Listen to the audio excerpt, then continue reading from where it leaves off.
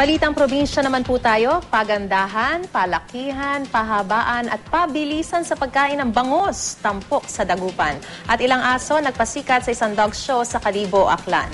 Yan at iba pa sa balitang hatid ni Oscar Oida. Aso at amo nitong nagsasayaw ng tsa Mga aso na costume Kabilang na ang isang naka-wheelchair dahil sa kapansanan sa paa. Ilan lang ang mga ito sa mga nagpasikat sa taunang dog show ng Kalibo Aklan na bahagi ng ikalimamput-pitong anibersaryo ng pagkakatatag ng lalawigan. Umabot sa 65 aso ang isinali sa dog show kung saan itinuro rin ang tamang dog grooming at kahalagahan ng pagpapabakuna ng mga alaga. Mga isdang bangus naman ang ibinida sa Dagupan City, Pangasinan.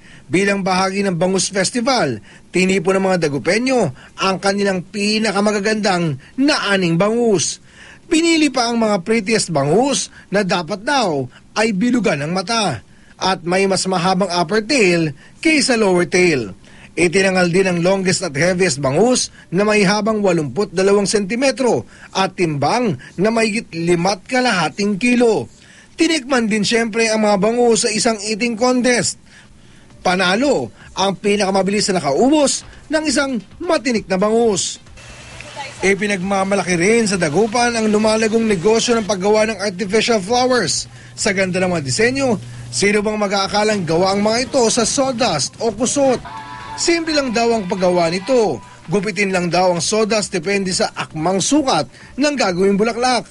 Kulayan naman ito at ipagdikit-dikit at lalagyan ng walis tingting na magsisilbing tangkay.